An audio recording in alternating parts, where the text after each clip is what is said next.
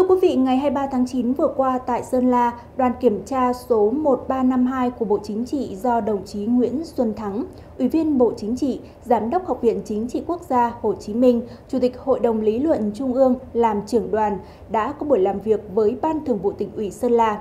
Tại đây, đoàn kiểm tra đã công bố quyết định kế hoạch triển khai kiểm tra về công tác lãnh đạo, chỉ đạo và tổ chức thực hiện nghị quyết Đại hội đại biểu toàn quốc lần thứ 13 của Đảng đối với Ban Thường vụ tỉnh ủy Sơn La.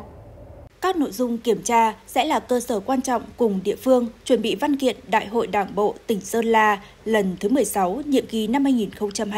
2025-2030, đồng thời là dịp cung cấp bổ sung những bài học kinh nghiệm, cách thức giải quyết tổ chức thực hiện những vấn đề mang tính lý luận, thực tiễn, phục vụ chuẩn bị văn kiện đại hội lần thứ 14 của Đảng. Ủy viên Bộ Chính trị Nguyễn Xuân Thắng yêu cầu Sơn La cần tập trung phát huy trí tuệ, cung cấp các thông tin khách quan về bối cảnh triển khai nghị quyết trong điều kiện chịu tác động ảnh hưởng của dịch bệnh, thiên tai, nêu rõ những khó khăn, bất cập, vướng mắc để chỉ ra những vấn đề cần tập trung giải quyết trong quá trình thực hiện Cùng với đó, Sơn La cần đánh giá toàn diện đầy đủ các lĩnh vực về công tác xây dựng đảng, công tác cán bộ, kinh tế, văn hóa, xã hội, khoa học, công nghệ, đối ngoại, nêu bật mối quan hệ giữa việc quán triệt triển khai, tổ chức thực hiện nghị quyết đại hội lần thứ 13 của Đảng với triển khai nghị quyết đại hội lần thứ 15 của Đảng bộ tỉnh Sơn La, các chương trình hành động, các nghị quyết chuyên đề và đề án thực hiện.